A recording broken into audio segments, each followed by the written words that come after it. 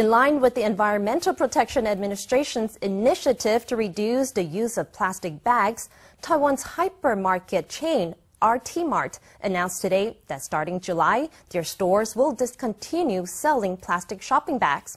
Complimentary plastic bag usage in its fruit and vegetable sections will also be limited to one bag per item type.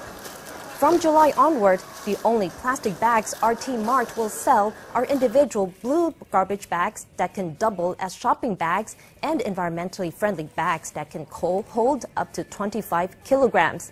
U.S. wholesaler Costco has never provided plastic shopping bags, but this month they went further, restricting in-store plastic bags and eliminating them from the perishable section.